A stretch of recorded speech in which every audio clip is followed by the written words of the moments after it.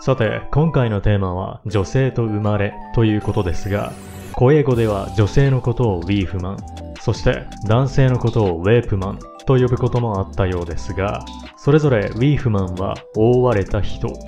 そしてウェープマンは武器を持つ人って意味になっています。ウェープは今のウェポンの古い形ですね。この女性のウィーフマンが今のウーマンで、複数形の時にウィミンと発音するのはその名残らしいですね。このようにゲルマン系の人たちはベールに覆われたものを女性と捉えたわけですが、ラテン系の言葉でも似たような表現があります。英語でナプシャルズ、もしくはナプシャルセレモニーは婚礼という意味ですが、ラテン語のヌプタには覆われたものという意味があるわけですね。ラテン系のフランス語で雲はニワージュというのですが、これもヌプタから来ていて空を覆うものというイメージです。ニュービルは結婚的霊気のという意味を持ち、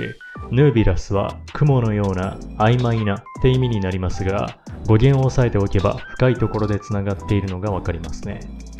ウーマンの語源は長らくはっきりしなかったので、古実系のような通俗的な説がよく出てきます。例えば、女性は男性にとって最悪なので、最悪を意味するウォウプラスマンであるという説や、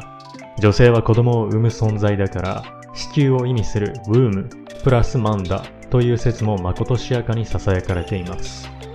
ウーマンはもともとウィーフマンという形で、そのウィーフは覆われたもの、つまり女を指すわけで、もともとワイフは結婚していない女性にも当てはめられていたんですね。例えば、アップルワイフはリンゴ売りの女、エールワイフは飲み屋の女将、そしてミッドワイフは助産婦というように今でも名残が見られますね。